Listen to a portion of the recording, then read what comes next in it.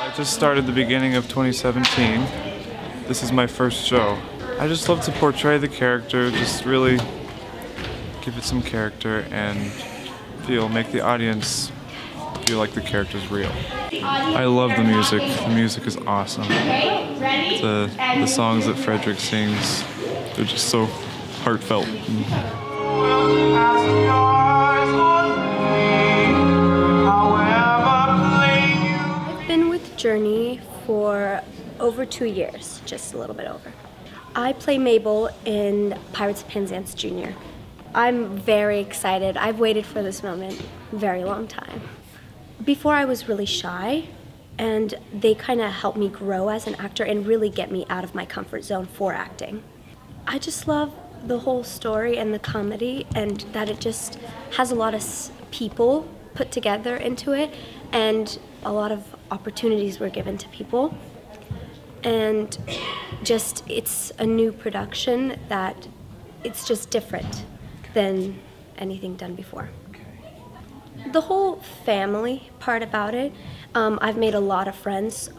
Um, literally, my first show, I got there, and everybody was just so friendly and willing to be friends with me.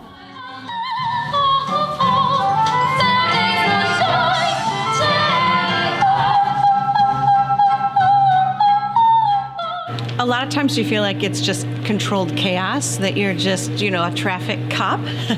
uh, but the fun part about being in the dress rehearsals this week is now that we're, you know, they have all their lines memorized, they know they know where they're supposed to go. So now it gets now it really is the fun part of working with the kids as they're really falling into their character.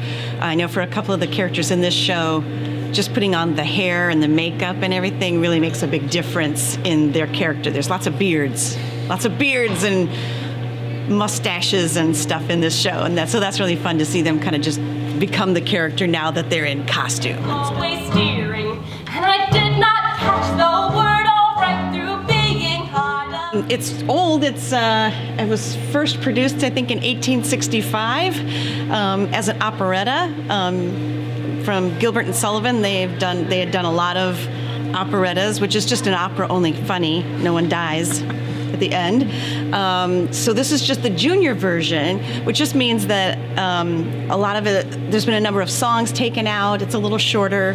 Um, uh, but it, it's it's really just a funny show. Um, the lead character is Frederick. He was accidentally apprenticed to pirates instead of pilots when he was eight years old, and then uh, he comes to find out he's 18 now, so now he can go out into the world and be free of the pirates. But he was born on Leap Day, so he's only five years old it's not 21 years old, and so the pirates hold him to that. And in the end, everything's happy. Everyone, all the boy and the girl get together. The pirates are really noblemen. They're not really pirates, so it all ends happily. But there's lots of fighting and stuff like that, so it's fun. Um, Journey had just, in fact, uh, this year they just taught a couple of sword fighting classes kind of in preparation for that. So there were some kids who knew they wanted to do that part, who said when they auditioned, I don't want a big role, I just want to be a pirate who fights.